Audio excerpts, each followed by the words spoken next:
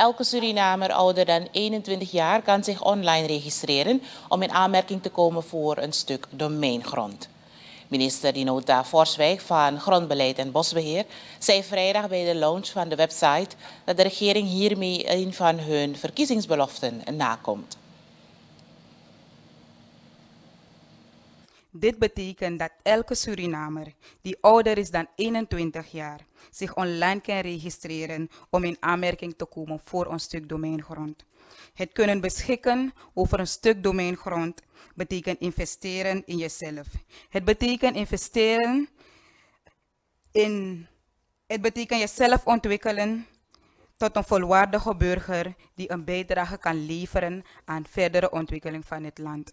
Vroeg kunnen beschikken over grond betekent dat je waarde toevoegt aan je bestaan. Het betekent dat je minder afhankelijk hoeft te zijn van de overheid. De regering is verplicht ontwikkelingskansen te bieden en mogelijkheden te creëren voor haar samenleving, zodat het volk zich verder kan ontplooien in het zelfondernemen. Wij van het ministerie van GBB geven invulling aan het beleid van deze regering. Het systeem biedt de mogelijkheid aan te geven voor welk district de aanvraag wordt gedaan en waarvoor de grond zal worden gebruikt. De minister stelt dat online registreren in het leven geroepen is om beter gronduitgiftebeleid uit te stippelen. Het doel van het online registreren is om beter beleid te maken op het, op het gebied van grond, grondaanvragen. Wij zullen hierdoor precies kunnen zien welke de behoeften zijn van de burgers en in welke districten de meeste aanvragen liggen.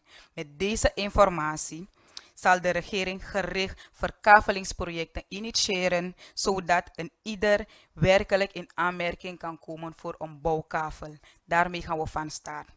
Met deze ontwikkeling laat deze regering zien dat zij, bereid, dat zij bereid is om in te spelen op de behoeften van de samenleving.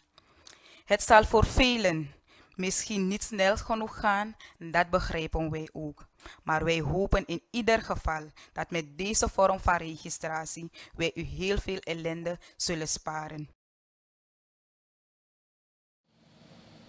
Met de komst van dit systeem is het meteen zichtbaar hoeveel aanvragen een individu op zijn naam heeft staan. De bedoeling van het nieuwe platform is om transparanter beleid te voeren.